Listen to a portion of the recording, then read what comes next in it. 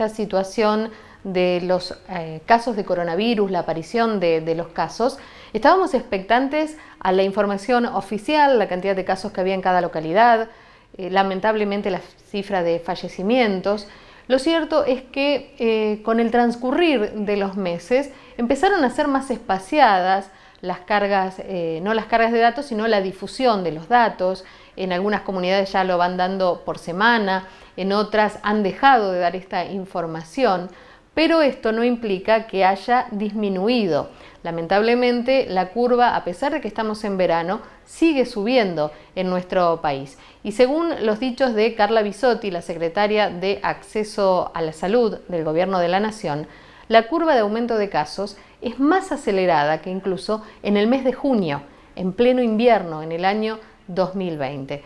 Como siempre, la recomendación de las medidas de cuidado, de tratar de evitar el traslado innecesario para poder eh, detener la propagación de este virus. Tenemos las declaraciones entonces de Carla Bisotti, secretaria de Acceso a la Salud del Gobierno de la Nación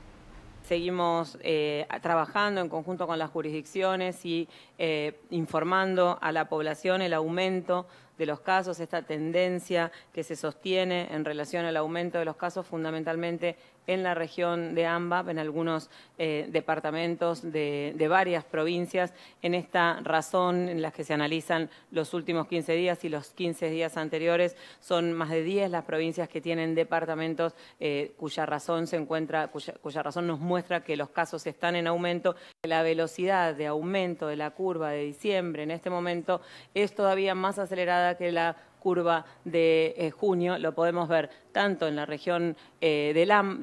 AMBA, digamos, en, la ciudad de Buenos Aires, perdón, como en la región metropolitana de la provincia de Buenos Aires. Se han distribuido en el país al día de la fecha 299.605 dosis y en el día de, de hoy, a las 6 de la mañana, el corte de dosis aplicadas por las jurisdicciones, reportadas por las jurisdicciones, es de 166.833 dosis aplicadas en esta población objetivo. El día jueves está saliendo un avión de Aerolíneas Argentinas para poder eh, ir en busca de eh, en las vacunas, las 300.000 dosis del segundo componente para completar el esquema de quienes han iniciado la vacunación durante este, durante este periodo y seguir trabajando fuertemente para contar con todo el cronograma de entrega de todas las dosis de todas las vacunas que está negociando y adquiriendo nuestro país.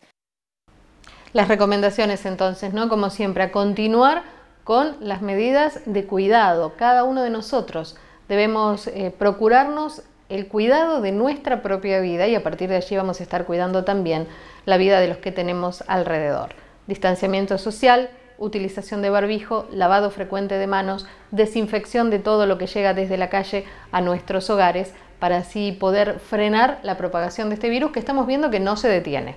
Eh, la curva sigue aumentando, cada día son muchos más los contagios en todo el país. Esto ya se ha extendido a todas las provincias y preocupa y mucho la situación.